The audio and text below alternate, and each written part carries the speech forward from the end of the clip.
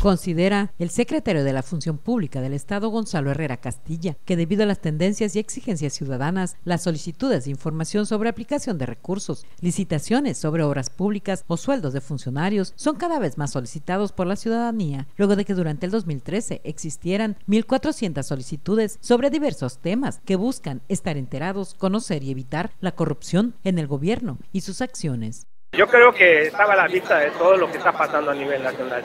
Está pasando que precisamente los funcionarios ahorita sabemos y se ven envueltos en diversas complejidades eh, en la medida en que precisamente son expuestas o evidenciados de las cuestiones que están pasando. Yo creo que esa es la evolución que se está dando en México y a la que vamos definitivamente. No, no podemos decir que lo vamos a lograr ahorita o mañana. simplemente vemos que hay pasos y que todos los pasos, todos los caminos que estamos llevando, todas las políticas que se están determinando a nivel nacional van hacia eso, a la transparencia, a la honestidad, a la rendición de cuentas. Aseguró que los municipios pobres del Estado no se niega la información, solo que es necesario adecuar, actualizar y capacitar al área de información municipal para que estos a su vez suban toda la información solicitada en línea, luego de que la gente ahora solicite mayor información, pero vía Internet y pocas veces en las dependencias de gobierno, con imágenes de J. de la Rosa. Para Notivisión, lăurdăzmată.